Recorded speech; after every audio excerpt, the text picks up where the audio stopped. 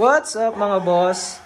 Good day sa inyo at in today's video, mag-change oil tayo at magre-review tayo ng langis na alam niyo naman siguro dahil nakita niyo na siya sa thumbnail, no? Ito ay ang Speed Tuner Super Oil by Mickey Mazo. Pangatlong beses ko na itong gagamitin, so may idea na kayo kung bakit pangatlong beses ko na siya gagamitin, no? Kasi okay talaga siya. Bibigyan ko kayo ng full and honest review about sa product na to. So, tara, samahan nyo ako mag-change oil na itong motor. Quick and change oil lang to, di nyo na kailangan ng kasama. Kaya kaya nyo to kahit mag-isa, no?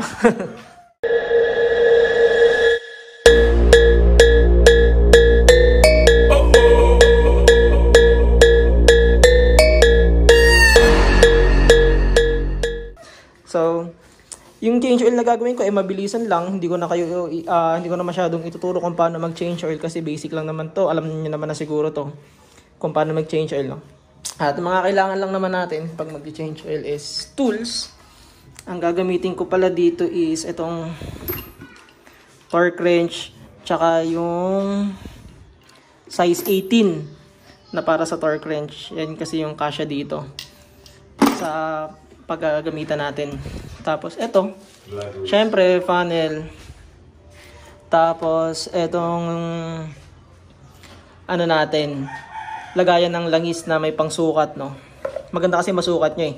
Kasi, hindi ka makaka-isang litro dito sa NMAX natin. Ang magagamit lang natin dyan is 900 ml. Pangit yung sobra. Okay? Tapos dito, ang tinatanggal ko dyan, para sa change oil ay yung mas malaki. Yan. Itong pangalawang yan yung mas malaki. Kasi para para sa sarili ko opinion ko lang yun ah. Para malinis ko na rin. Andun kasi yung filter niya eh, ng sa langis natin eh. Para ma-check din para malinis. So yun yung like kong tinatanggal. So tara. Change oil na natin to. What we do here is go back, back, back, back, back, back, back,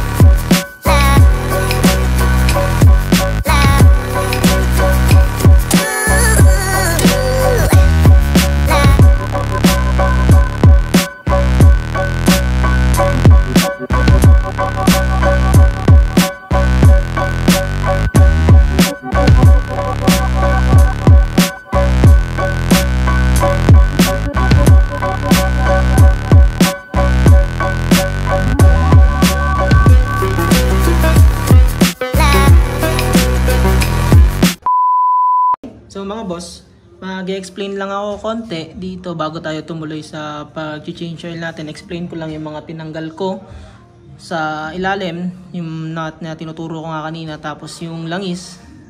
Ito siya, yung langis na dating itinanggal natin sa ano sa motor natin. Tapos ito yung isa magsasalin din ako dito na para makita niyo yung itsura, yung kulay nito bago yung pagbago siya.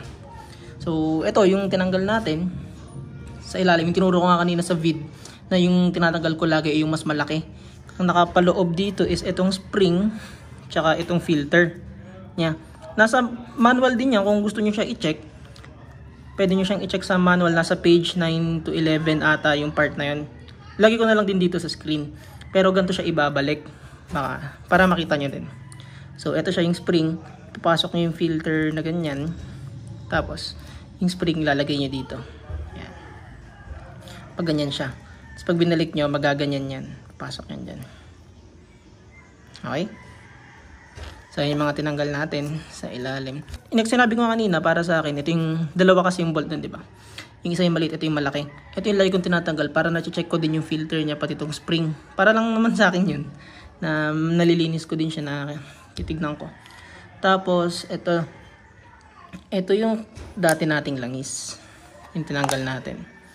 Ang tinakbo na ito mga boss is 1,500 kilometers bago nakapagpalit. Pero usually talaga, nag-change oil ako. 1,000 kilometers lang. Eh, ngayon, medyo busy. Kaya natagalan yung pag-change oil natin. Pero para sa akin kasi kahit gaano kaganda yung langis mo, kahit pinakamahal pa yan. Parang mas gusto ko talaga every 1,000 nag-change oil, 1,000 kilometers. So, yun. Ito yung langis niya. oh. So, kahit 1.5 na yung natakbo niya. Hawakan natin. Yung lapot niya, ganun pa din. Gan- Maganda kasi talaga yung pagkalapot na itong speed tuner eh. Yung hindi mo ramdam yung fingerprint mo sa magkabilang daliri pag. Sobrang sobrang lapot niya, ang ganda niya pa din. Actually, yung langis na to, pwede pa ata to mga 300 kilometers pa siguro eh. Pero palitan na rin natin. Pero maganda pa rin yung lapot niya talaga. Maganda talaga yung langis na to. Para sa akin, kasi nagamit ko na nga siya. So, sali natin dito yung speed tuner na bago para makita nyo yung itsura niya. Pag bago pa lang siya. Okay, buksan natin. Oops. Speed tuner. Dalawa nga pala. Alam ko sa pagkakaalam ko dalawa to eh. Isang itong 10W40. Tsaka yung isa 10W50 ata. Itong 10W, winter, ibig sabihin yung W. Depende yan sa klima. So ito yung lapot niya pag ganito yung klima. Yun yung pagkakaintindi ko ah. Yung 10 tsaka W. Tapos for ano talaga siya, for scooter din, goods siya for scooter. Tsaka 1 quart ang laman nito. Mga di nakakaalam mga boss, ang 1 quart eh nasa 946 ml ata. Wala pa siyang 1 liter. Basta 946 ml ata siya. Di ako sure. Pero lagay ko dito kung ilang ml siya. So yun yung 1 quart. Pero ang kailangan lang naman kasi natin sa NMAX natin is 900. So medyo may sobra pa siya ng konti. Ito siya. Tsaka ito mga boss, may nakalagay pala dyan. Ito. So may ibig sabihin din yan na mas maganda pag magsasalin kayo ng langis eh pag ganito. Pag ganyan siya. Pag ganito. Para nakokontrol nyo yung labas ng langis kasi pag pag ganito yung ano nyo, baka bumulwak ng malakas yung ano, tumapon lang. So mas maganda yung pag ganito yung salin. Pero ako kasi, sinasya, sinasalin ko pa siya dun sa lagayan ko para nasusukat ko kung 900 ml talaga. Okay, lagay natin siya dito. Lagay tayong konti. Ito niyo mga boss, yan. Ito siya. Yan ang kulay niya pag bago. Para siyang grayish. Yan. Ayusin natin. Ito. Yan. Yung kulay niya pag bago. Medyo gray siya. Tapos maganda yung, maganda yung lapot niya talaga. Malapot talaga siya. Tapos wala naman siyang amoy, hindi katulad ng iba na medyo amoy bakal na ano. Ito wala siyang amoy. Hindi naman kabanguhan, pero wala lang, normal lang. So yan siya. Actually, ang off lang sa akin dito sa speed tuner dahil pangatlong beses ko na siya in order. Hindi ko lang gusto dito is hindi pantay yung pagkakatansya nila sa 1 quart. Yung unang bili ko kasi nito, umabot lang siya ng wala pang 900 ml. So medyo kapos para sa NMAX. Yung pangalawa, eh ang um, okay naman na nasa 9 930 to 920 to 930 ml ata yun. Yung pangalawa. Tapos ito, hindi ko pa siya na-check kung nasa 1 quart talaga yung laman. Yun lang naman. Pero sabi nung mekaniko sa Yamaha nung natanong ko sila, okay lang naman daw kumulang ng konting-konti lang kasi mga yung nasalin ko noon nasa 880 ml lang at o 890. Konting-konti lang naman. Pero masama talaga yung sobra ka ng 900 ml daw. So yun.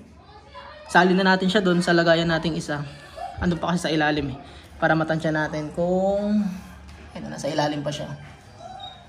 Kung nasa 900 ml ba talaga yung laman. Okay? So yun mga boss, natanggal ko na rin yung, nalinis ko na tong lagayan natin ng langis. Hindi ko na rin napakita sa inyo yung dating langis.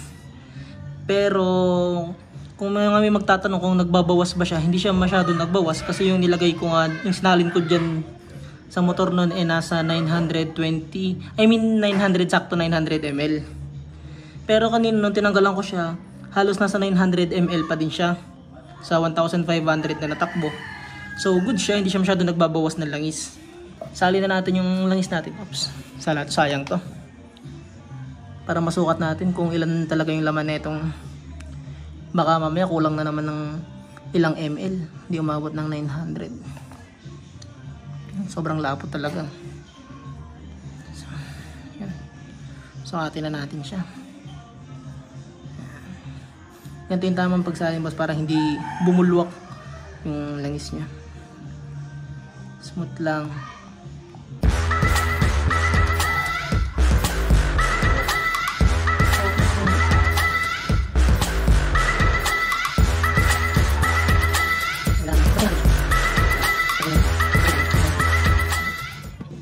So yun mga boss, ito na siya. Umabot siya ng 900 ml. Tapos lang ng konting-konti lang naman. Hindi naman siguro masama. yun. Pero at least umabot siya ng 900 ml, di ba? So yun, lalagay ko na siya ngayon dun sa motor natin. At bago nyo lagyan, syempre huwag nyo kakalimutan ibalik to. ibalik nyo yan sa ilalim para hindi masayang yung pagsalin nyo. Balik ko muna siya. So, Sali na natin tong langis natin mga boss. Siyempre, kailangan nyo ng funnel o embudo. Kung wala kayong mabiling mahaba-haba, pwede nyo itong gawin. DIY lang din. Mag-cut kayo sa mga extra nyong hose, tapos i-tape nyo na lang dito. Para di kayo mahirapan magpasok dun. Tanggalin natin siya. Takip.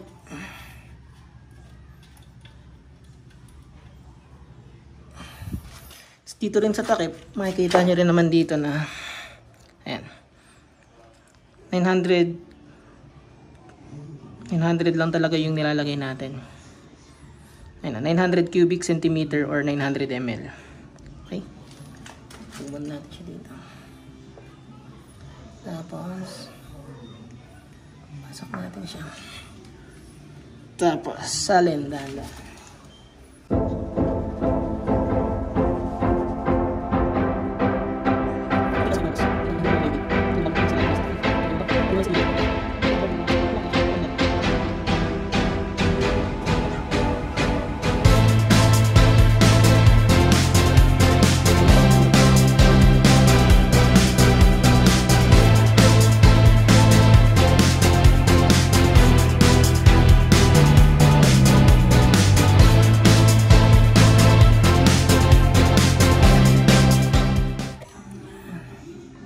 Santay lang natin siya. May bababa pa kasi dyan eh.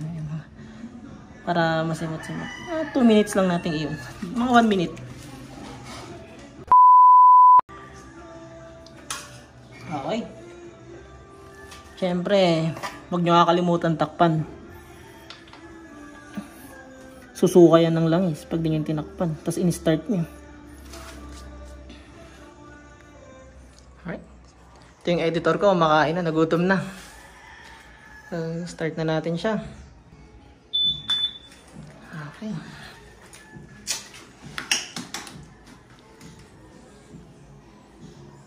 Tip nga pala mga boss. Antayin yung matapos lahat ng indicator dito bago kayo mag-start. Kasi ibig sabihin niya, nag, parang nagbo-boot, nag start yung system niya. Start na natin.